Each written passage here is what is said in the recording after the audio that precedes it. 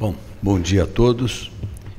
É, eu estou muito feliz, é um prazer estar aqui nessa festa. Parabéns à, à Regional do Rio de Janeiro pelos 25 anos de prestígio e sucesso. É, eu vou, diante de tanta evolução tecnológica, eu vou tentar voltar um pouquinho ao passado. Será que ainda a gente pode fazer uma endarterectomia femoropoprítea? É um desafio falar disso, acho. Não? É, claro, desde que ela foi pela primeira vez feita por Cid dos Santos, por algum tempo ela foi a primeira opção até o advento dos enxertos arteriais. Era a primeira opção. A partir de 1980, ela passou a ser uma alternativa às próteses quando havia infecção importante. Né? E hoje, praticamente não é mais indicada como um procedimento primário. Mas eu tenho a impressão que não é bem assim. Por quê? Os aspectos favoráveis da endarterectomia. Existe um plano de clivagem histológico, sim, muito importante, bem definido entre a membrana limitante elástica externa e a muscular, como nós podemos ver aí. O que está em escuro na técnica de Velhoff é a membrana limitante elástica externa nesses cortes. Né? E esse plano é preciso, é fácil de ser achado, e o que resta, que seria a, a membrana limitante elástica e a adventícia, é um material bastante uh, resistente como substituto arterial. E o fato também da aterosclerose não acometer a membrana limitante elástica externa em geral. É claro, uma situação desse tipo é a situação ideal para se indicar uma endarterectomia, uma lesão bastante localizada. Mas ninguém vai fazer isso hoje, quando é muito fácil também se colocar um estente nesta lesão. Ninguém vai fazer uma incisão na coxa, muito provavelmente, não sei que ele não saiba fazer o método. É, situações desse tipo, lesões segmentares, né, femorais, obviamente a técnica do estente é a técnica hoje de escolha. No entanto, uma situação como essa, eu acho que até o doutor Marcelo Ferreira, que está aqui presente, ele, ele concordaria comigo que uma ignotomia para retirar uma placa que está na transição dentro na femoral comum, praticamente, pertinho da profunda, e que provocou embolização distal, né? Seria, é muito mais fácil se fazer uma ignotomia, remover essa placa a céu aberto, como vocês podem ver aí, né, do que, obviamente, fazer um crossover e colocar um stent numa posição, numa dobra perto da artéria da artéria femoral profunda.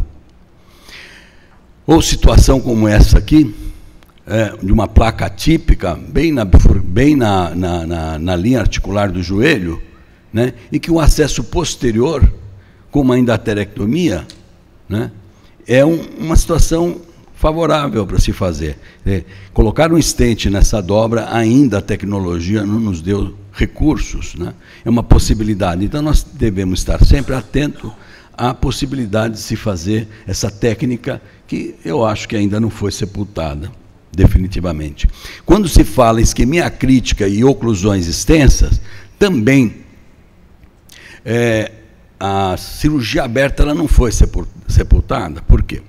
O Basel mostrou exatamente isso, que a cirurgia aberta, se você tem um bom substituto, né, é, a cirurgia aberta ela é, é uma opção boa ainda aos tratamentos endovasculares.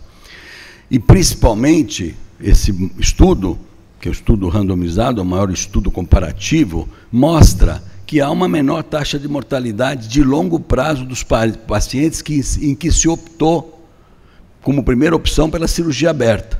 Ou seja, os pacientes morrem menos. E é estatisticamente significativo, como vocês podem ver aí né, há uma menor taxa de mortalidade, uma maior sobrevida dos pacientes operados, então operados aberto. É, agora, existem situações como essas, em que nós não temos substituto arterial, uma gangrena com infecção, em que material autógeno deve ser utilizado, né, pode ser utilizado, a técnica de endarterectomia por inversão, né, os enxertos mistos. Esse é, uma, é, um exemplo de utilização. Um paciente que tinha feito uma cirurgia de ponte de coronária, não tinha safena naquele membro, e que a artéria pode ser dissecada, evertida e se complementar com um pequeno segmento de veia restante. A técnica pode ser feita ex vivo, se retirar a femoral superficial também e se compor com o segmento de veia. E numa situação como essa também eu não poderia é, utilizar uma técnica endovascular. No paciente com enxerto aorto bifemoral, com um pseudaneurisma femoral direito, uma obstrução segmentar da artéria, uma extensa da artéria femoral superficial, onde nós optamos por ressecar o pseudaneurisma, como vocês veem, a prótese, é, a ressecção do pseudaneurisma no canto à esquerda, e a composição artéria e veia para uma derivação femoropoplítea totalmente autógena. Isso é útil e isso deve ser utilizado, obviamente. E não pode esquecer dessas técnicas. Esse é o trabalho que coleta todos os pacientes operados na, na, disciplina de cirurgia vascular da USP, de 1976 a 1997, 51 pacientes com intenção de se tratar, 48 restaurações, três não puderam ser feitas por calcificação arterial, e a indicação de cirurgia, 98% isquemia crítica, em casos extremamente graves, o paciente não tinha veia. A técnica in situ ex vivo, e aqui mostrando que nós fizemos em vários níveis a derivação, até a dorsal do pé, existe um caso com a dorsal do pé, e os resultados de 30 dias, 68% de bons resultados, é, pode parecer muito baixo esse, esse, esse resultado, muito ruim esse resultado, mas eram pacientes extremamente graves. É, o que é importante mostrar é que depois do primeiro, do primeiro mês, a, a, restauração se mantinha relativamente estável. Então, o paciente que tinha que morrer ou perder a perna, perdia no primeiro mês. Em seguida, o paciente conseguia passar o primeiro mês, ele se mantinha relativamente estável. Observem a taxa de salvamento cumulativo após de um mês, se manteve 60,5% até os 60 meses, até 5 anos. Isso é extremamente importante, quer dizer, uma vez paciente grave, ele oclui, ele perde a perna, ou ele morre nos primeiros 30 dias, mas o paciente que passa dessa fase, ele se beneficia da operação. É, a taxa de estabilidade, né? Em um ano, a partir de um mês foi calculada. Observem que a estabilidade, na média, foi de 81,4%. E a estabilidade em um ano foi comparada também com as derivações femorotibiais, feitas, uma série feita pelo Dr. Maximano Albers. E a gente vê que a estabilidade, apesar dessa complexa cirurgia, a estabilidade nesses pacientes que passam o primeiro mês é semelhante. Conclusão que a endarterectomia ainda é útil nessas situações extremas, como nós podemos ver, quando não há veia disponível, isso pode ser utilizado e é um procedimento que deve ser mantido no arsenal.